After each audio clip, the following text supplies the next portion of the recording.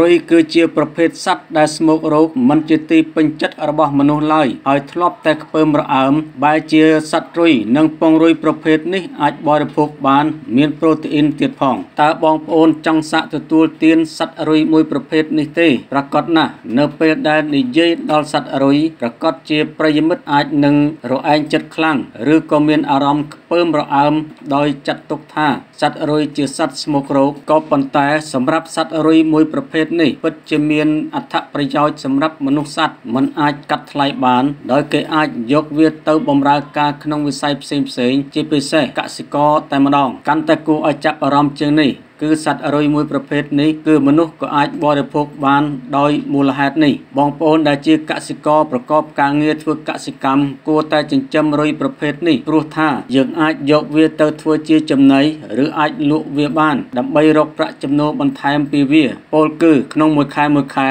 លោកអ្នកក៏អាចរកប្រាក់ចំណូលបានច្រើនគួរសមពីការចិញ្ចឹមសត្វរុយមួយប្រភេទនេះតកតងនឹងសត្វរុយមួយប្រភេទនេះបងប្អូនមហាជនពិតជាចង់ដឹងហើយថាសត្វរុយមួយប្រភេទនេះវាមានឈ្មោះអ្វីប្រភេទរុយនេះមានមេរោគឬអត់ជាពិសេសថាតើយើងគួរបរិភោគវាឬអត់តាមរយៈបទសម្ភាសជាមួយកម្មវិធីសារព័ត៌មានលោកសៅសែននិយាយថារុយមួយប្រភេទនេះឈ្មោះ Black Soldier Fly វាមិនមានផលប៉ះពាល់ចំពោះមនុស្សនិងសត្វនោះទេផ្ទុយទៅវិញវាសម្បូរដោយប្រូតេអ៊ីនកាល់ស្យូមនិងសារធាតុចិញ្ចឹមជាច្រើនប្រភេទលោកសៅសែនសំណាងប្រជាកសិករចិញ្ចឹមសត្វល្អិតនៅខេត្តកណ្ដាលលើកឡើងថាការប្រកបរបរនេះគឺរយៈពេលជាង6ឆ្នាំហើយដែលក្នុងនោះអាចមានផលលំបាកខ្លះសម្រាប់លោកផ្ទាល់ដោយយើងត្រូវចំណាយពេលក្នុងការមើលថែទាំក៏ដូចជាការរៀបចំទុកដាក់និងត្រូវការចិញ្ចឹមនិងត្រូវត្រូវការចិញ្ចឹមគឺយើងមានជាដំណាក់កាលនីមួយៗ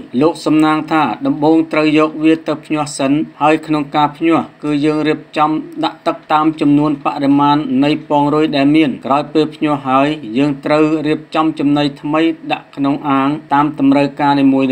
ក្នុងមួយអាងដែលមានបរិមាណ1ម៉ែត្រការ៉េក៏យើងអាចទទួលបានដង្កូវចំនួន15គីឡូក្រាមក្នុងនោះមានដង្កូវសាច់ដង្កូវពូជខ្មៅក្នុងការចិញ្ចឹមដាក់ចំណីឲ្យសត្វល្អិតគឺយើងអាចយកកាក់សំណល់ផ្ទះបាយកាក់ស្រាបៀរកាក់សណ្ដែកសៀងនិងផ្លែឈើផ្សេងផ្សេង លោកសំណាងបន្តថាសត្វដង្កូវខ្មៅនេះជាសត្វល្អិតដែលមានសារធាតុប្រូតេអ៊ីនច្រើន រយៈពេលក្នុងការចិញ្ចឹមគឺ1ខែកន្លះទៅទទួលផល ដែលយើងអាចយកទៅលក់ចេញបាន និងយកទៅធ្វើជាចំណីសត្វជាច្រើនប្រភេទដូចជាមន់ទាត្រីអន្ទង់កង្កែបបង្កងជាដើម លោកថាចំណីនេះគឺយើងផលិតចេញពីធម្មជាតិដោយការចិញ្ចឹមសត្វល្អិតដោយខ្លួនឯងងាយស្រួលក្នុងការថែទាំ និងឆាប់ទទួលបានផលក៏ល្អចំពោះចិញ្ចឹមសត្វធំធំសម្រាប់ទទួលផល គឺមានគុណភាពល្អនិងមិនប៉ះពាល់ដល់សុខភាពសត្វនិងមនុស្សទេ លោកបញ្ជាក់ថានេះគឺជាបច្ចេកទេសដែលបានរៀននិងអនុវត្តទាល់ទទួលបានផលល្អ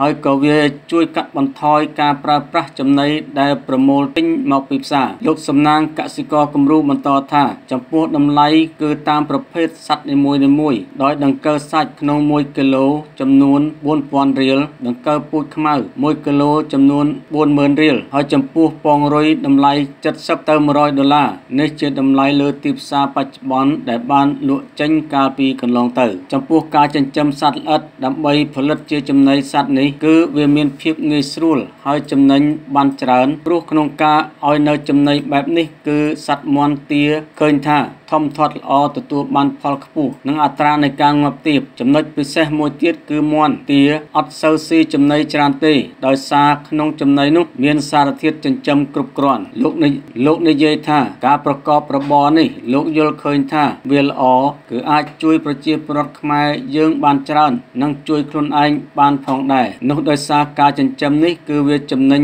ច្រើនដោយយើងអាចយកទៅផលិតចំណីបានច្រើនប្រភេទសម្រាប់ចិញ្ចឹមចំពោះសត្វនានាដោយចំណីពីធម្មជាតិល្អនិងមានគុណភាពនោះចំពោះសត្វមាន់ទាបង្កងកង្កែបគឺវាស៊ីបានល្អ